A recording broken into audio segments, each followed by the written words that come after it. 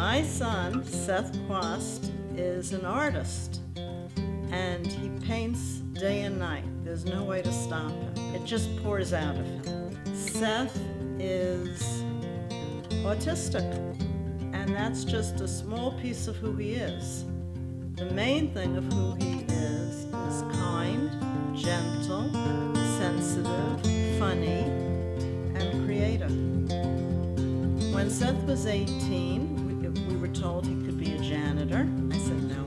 Seth started to paint when he was 20. Now he's 32. We have something like 750 paintings in the house and another 100 out in the world.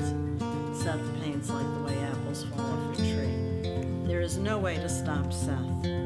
When Seth paints, he is absolutely amazing. He knows exactly what he wants, and he is as certain he is lost in the real world. Because Seth was autistic, he was dismissed. And this has happened to all of us. It has nothing to do with autism.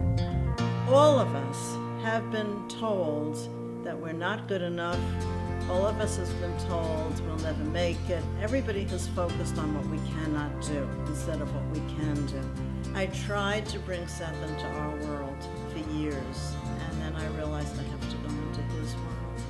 His world is better. His world is a world of magic. He just lives in a better place than we do.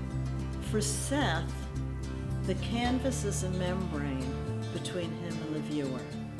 It's like the beating of a heart. And Seth paints because he wants you to see his painting. And he's reaching out to you, he's talking to you. Seth wants all his paintings to heal people. He says Seth's art will make people feel all better.